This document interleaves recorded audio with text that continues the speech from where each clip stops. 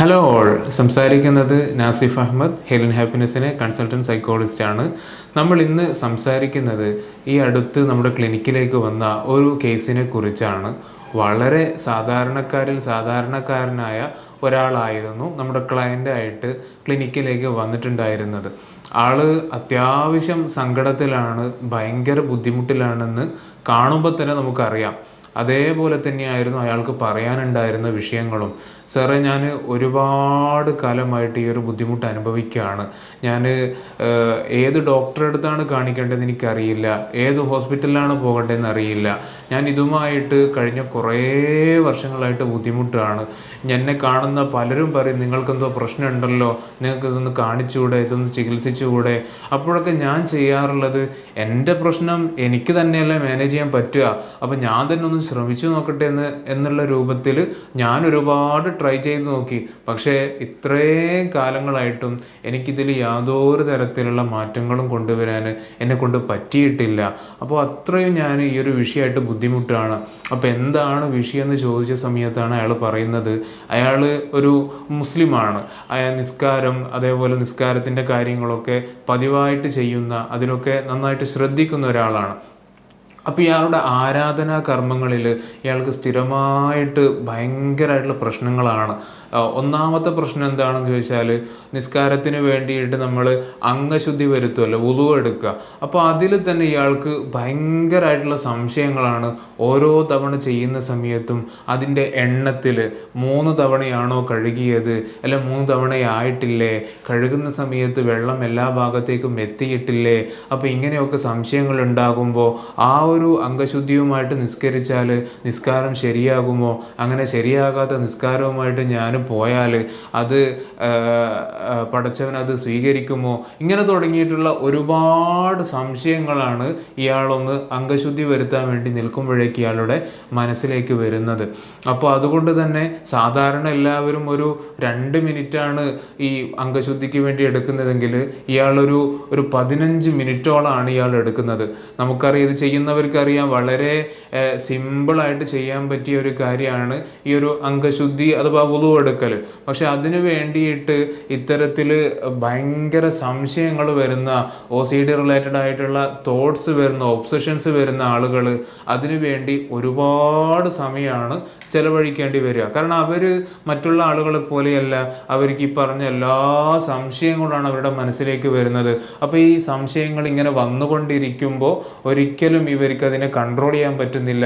ഈ സംശയങ്ങൾ അതിനെ ആ ഒരു സമയത്ത് ഭയങ്കര ഒരു ബുദ്ധിമുട്ട് വരുന്ന സമയത്ത് ആ സംശയങ്ങൾ ദൂരീകരിക്കാൻ വേണ്ടി തീർക്കാൻ വേണ്ടി അവർ വീണ്ടും സെയിം കാര്യം ചെയ്യാണ് അപ്പോൾ ഈ ഒബ്സഷൻസ് ഇങ്ങനെ വന്നുകൊണ്ടേയിരിക്കുന്ന സമയത്ത് അത് റിപ്പീറ്റഡ് ആയിട്ട് അവർ വീണ്ടും വീണ്ടും ചെയ്യുകയാണ് കഴുകിയ മുഖം തന്നെ വീണ്ടും വീണ്ടും കഴുകുകയാണ് എണ്ണം ശരിയായിട്ടുണ്ടോ? മൂന്നാണോ? മുപ്പതാണോ എന്ന് പോലും അറിയില്ല.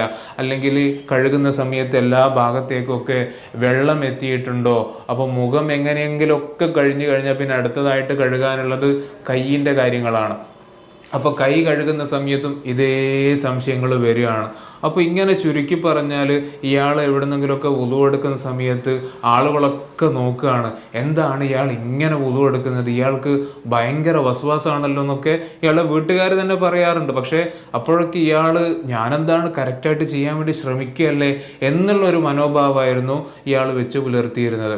ഇയാൾക്കുണ്ടായിരുന്ന വേറൊരു കാര്യം എന്ന് പറഞ്ഞാൽ സാധാരണ നമ്മൾ പള്ളികളിലൊക്കെ പോകുന്നവർക്ക് അറിയാം അവിടെ പൈപ്പുകൾ ഉണ്ടാകും അല്ലെങ്കിൽ വെള്ളം തങ്ങി തങ്ങി നിർത്തുന്ന ഹൗലുകളൊക്കെ ഉണ്ടാകും. അവിടെ നിന്നൊക്കെയാണ് അംഗശുദ്ധി വരുത്തുക. പക്ഷേ ഇയാളെ സംബന്ധിച്ചിടത്തോളം ആ വെള്ളമൊന്നും ഇയാൾക്ക് മതിയാകില്ല. ഇയാൾക്ക് നേരെ കുളത്തിലിറങ്ങിയിട്ട് പള്ളിയുടെ കുളത്തിലിറങ്ങിയിട്ട് അവിടുന്ന് ഉളു എടുത്താലേ അവിടുന്ന് അംഗശുദ്ധി എടുത്താൽ മാത്രമേ ഇയാൾക്കത് മതിയാകൂ.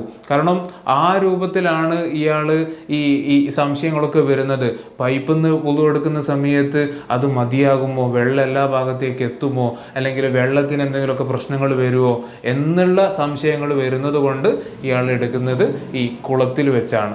അപ്പോൾ ഇയാളോട് പണ്ട് ആരോ ചോദിച്ചു പോലും നിങ്ങൾ കുറേ വയസ്സായല്ലോ എന്നിട്ട് ഇതുവരെ നിങ്ങൾ ഹജ്ജിനൊന്നും പോയിട്ടില്ലല്ലോ അപ്പം അങ്ങനെ പോകണ്ടേ? അപ്പോൾ ഇയാൾക്ക് പറയാനുള്ളത് ഇല്ല എനിക്ക് ഞാൻ എനിക്കിപ്പോൾ പോകാൻ പറ്റില്ല. അതിന്റെ ശരിയായ കാരണം ഇയാൾ ഈ ഒരു സമയത്താണ് കൗൺസിലിങ്ങിന്റെ സമയത്താണ് എന്നോട് പറഞ്ഞത്. കാരണം അവിടെ ഇപ്പോൾ ഹജ്ജിന് പോകുമ്പോൾ നമുക്കറിയാം മക്കത്തും മദീനത്തും സൗദി അറേബ്യയിൽ ആ ഭാഗങ്ങളിലൊക്കെ ആണല്ലോ പോകുക അപ്പോൾ അവിടെ ഒന്നും ഈ രൂപത്തിലുള്ള കുളങ്ങളൊന്നും കാണാനുണ്ടാവുകയില്ല.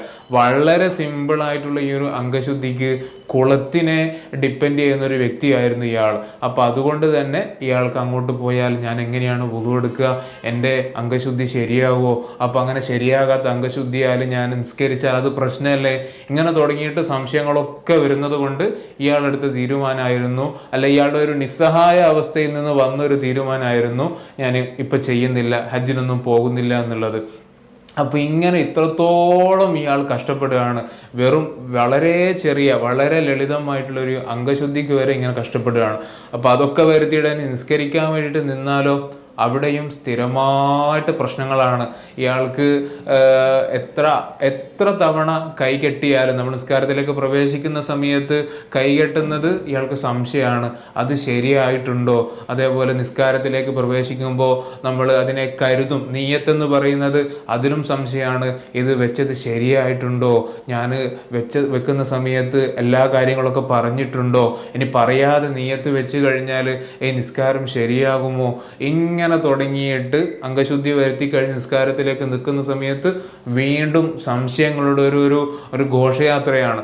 അപ്പോൾ ഇതൊക്കെ കാരണമായിട്ട് ഇയാൾ ഒരുപാട് സമയം ഇതിലേക്ക് എടുക്കുകയാണ്. അപ്പോൾ ഇയാളൊരു പള്ളിയിലേക്ക് വന്നു കഴിഞ്ഞാൽ മറ്റുള്ള ആളുകളൊക്കെ ഒക്കെ ഇയാൾ ഇങ്ങനെ നിരീക്ഷിച്ചുകൊണ്ടിരിക്കുകയാണ്. കാരണം ഇയാളുടെ ആക്റ്റുകൾ ആ രൂപത്തിലാണ് ഇയാൾ അവിടെ പ്രവർത്തിക്കുന്നത്. നിസ്കരിക്കാൻ വേണ്ടിയിട്ട് ഒരുപാട് തവണ അള്ളാഹു അക്ബർ അള്ളാഹു അക്ബർ എന്ന് പറഞ്ഞിട്ട് ഒരുപാട് തവണ ഇയാൾ കൈകെട്ടുകയാണ്. കാരണം അതുകൊണ്ടൊന്നും ഇയാൾക്ക് മതിയാകുന്നില്ല. കാരണം ഇത് ശരിയായിട്ടുണ്ടോ എന്നുള്ള ഒരു സംശയം വരികയാണ്. അപ്പം വീണ്ടും അതേപോലെ റിപ്പീറ്റ് ചെയ്യുകയാണ്. അപ്പോൾ ഇങ്ങനെയൊക്കെ ഒരുപാട് വർഷങ്ങളായിട്ട് കടന്നു പോകുന്ന ആളാണ്. ഇത് നമുക്കറിയാം. സാധാരണ നമ്മുടെ വീഡിയോസ് കാണുന്ന ആളുകളാണെങ്കിൽ അറിയാം ഒ സി ഡി റിലേറ്റഡ് ആയിട്ടുള്ള വിഷയമാണ്. ഓബ്സഷൻസ് വരുന്നു. ആ ഓബ്സഷൻസ് വരുന്ന സമയത്ത് സ്ഥിരമായിട്ട് ചെയ്യുന്ന കമ്പൽഷൻസ് ഒക്കെ ചെയ്യുന്നു. അപ്പോൾ അത് കാരണമായിട്ട് ഓബ്സഷൻസ് വീണ്ടും അവിടെ അങ്ങനെ തന്നെ കിടക്കുകയാണ്. അപ്പോൾ ഇത് കാലങ്ങളായിട്ട് തുടർന്ന് വരികയാണ്. അപ്പോൾ ഈ സംശയങ്ങൾ വരുന്ന സമയത്ത് കുറേയൊക്കെ ഇയാൾ തന്നെ സ്വന്തം മാനേജ് ചെയ്യാനൊക്കെ നോക്കുന്നുണ്ടെന്നാണ് പറയുന്നത്. പക്ഷെ അതൊന്നും ഒട്ട് നടക്കുന്നില്ല. അപ്പോൾ ശരിയായ നല്ല രൂപത്തിലുള്ള ഒരു സൈക്കോ എഡ്യൂക്കേഷൻ ആദ്യമായിട്ട് ഇതെന്താണ്? ഇതെന്തുകൊണ്ടാണ് നിങ്ങൾക്ക് ഇങ്ങനെ വീണ്ടും സംശയം തോന്നുന്നത്? മറ്റുള്ള ആളുകൾക്കൊന്നും സംശയം തോന്നുന്നില്ല. ഈ സംശയം തോന്നുന്ന സമയത്ത് നിങ്ങൾ എന്തൊക്കെയാണ് കാര്യങ്ങൾ ചെയ്യാറുള്ളത്? ഈ കാര്യങ്ങൾ സ്ഥിരമായിട്ട് ചെയ്യുന്ന സമയത്ത് ഈ സംശയങ്ങൾ അവിടെ ബലപ്പെടുകയാണ് ചെയ്യുന്നത്. ഒരിക്കലും ഈ സംശയങ്ങൾ അതിന്റെ റൂട്ട് കോസ് ആയിട്ടുള്ള ഈ ചിന്തകൾ അവിടെ നിങ്ങളുടെ അടുത്തുനിന്ന് പോകുന്നില്ല. അപ്പോൾ ഈ ഒരു ഈ ഒരു സൈക്കിൾ ഇങ്ങനെ പോകുന്നത് കൊണ്ടാണ് സ്ഥിരമായിട്ട് നിങ്ങൾ ഈ ഈ ഒരു പാറ്റേണിൽ ഇങ്ങനെ പോകുന്നത്. അപ്പോൾ അത് നമുക്ക് ബ്രേക്ക് ചെയ്യണം. അതിന് ഈ രൂപത്തിലാണ് ചെയ്യേണ്ടതെന്നുള്ള രൂപത്തിൽ ഓബ്സഷൻസ് എങ്ങനെ മാനേജ് ചെയ്യാമെന്നും അതേപോലെ തന്നെ കമ്പൽഷൻസ് എങ്ങനെ മാനേജ് ചെയ്യാന്നുള്ള കാര്യങ്ങളൊക്കെ പറഞ്ഞു കൊടുത്ത സമയത്ത് വെറും രണ്ട് സെഷൻ കൊണ്ട് തന്നെ കാര്യമായ ഇമ്പ്രൂവ്മെന്റ് നമുക്ക് അയാളിൽ കാണാനുണ്ടായിരുന്നു.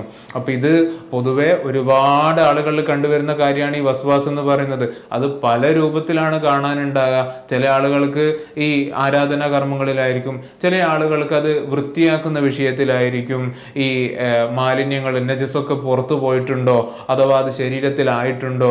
ബാത്റൂമിൽ പോയാൽ എന്റെ ശരീരത്തിലോ എന്റെ ദേഹത്തോ എന്തെങ്കിലുമൊക്കെ ആയിട്ടുണ്ടോ? ഇങ്ങനെ തുടങ്ങിയിട്ട് ഒരുപാട് ഒബ്സഷൻസ് ഈ വിഷയത്തിലൊക്കെ നമുക്ക് കാണാൻ പറ്റാറുണ്ട്. പൊതുവേ ഒരുപാട് പേർ ഇതുകൊണ്ട് പ്രശ്നങ്ങൾ അനുഭവിക്കാറുണ്ട്. വളരെ നിസ്സാരമായിട്ട് നമുക്ക് ട്രീറ്റ് ചെയ്യാൻ പറ്റുന്ന ഒരു വിഷയമാണ് ഒ സി ഡി എന്ന് പറയുന്നത്. പക്ഷേ അതുകൊണ്ട് അനുഭവിക്കുന്ന ബുദ്ധിമുട്ട് അത് അനുഭവിക്കുന്ന ആളുകൾക്ക് മാത്രമേ അറിയൂ. ഇതിന്റെയൊക്കെ വിഷയം എന്ന് പറഞ്ഞാൽ പുറത്തൊരാളോട് പറയാൻ പറ്റില്ല. ഞാൻ ഇങ്ങനെ ഇങ്ങനെയൊക്കെയാണ് എന്റെ ഉള്ളിൽ നടക്കുന്നത്. ഇങ്ങനെ ഇങ്ങനെയൊക്കെയാണ് എന്റെ ചിന്ത പോകുന്നത് എന്ന് വരെ അവർക്ക് പറയാൻ പറ്റാത്ത രൂപത്തിൽ അങ്ങേയറ്റം ഭയങ്കര കഷ്ടപ്പാടിലായിരിക്കും അവർ മുന്നോട്ട് പോകുന്നുണ്ടാവുക. അപ്പോൾ ഈ വീഡിയോസൊക്കെ നമ്മൾ ഇവിടെ ചെയ്യുന്നത് ഇത്തരത്തിൽ പ്രയാസം അനുഭവിക്കുന്ന ആളുകൾ ഉണ്ടെങ്കിൽ അവർക്ക് ഇത് കാണുമ്പോഴെങ്കിലും ഇതാണ് എന്റെ വിഷയം. ഇത് നല്ലൊരു കൗൺസിലർ അടുത്ത് പോയാൽ വളരെ പെട്ടെന്ന് നമുക്ക് ചികിത്സിച്ച് മാറ്റാൻ പറ്റുന്നതേ ഉള്ളൂ. വെറുതെ ഞാൻ എന്റെ ജീവിതം ഭയങ്കര ദുസ്സഹമാക്കി തീർക്കേണ്ട ആവശ്യമില്ല എന്നൊരു ബോധം ഉണ്ടാക്കി കൊടുക്കാൻ വേണ്ടിയിട്ടാണ്. അപ്പോൾ ഏതായാലും അത്തരക്കാരിലേക്ക് ഈ വീഡിയോ എത്തട്ടെ എന്ന് പറഞ്ഞുകൊണ്ട് നമ്മൾ അവസാനിപ്പിക്കുകയാണ്. അടുത്തൊരു ടോപ്പിക്കുമായിട്ട് നമുക്ക് വീണ്ടും കാണാം. Good goodbye.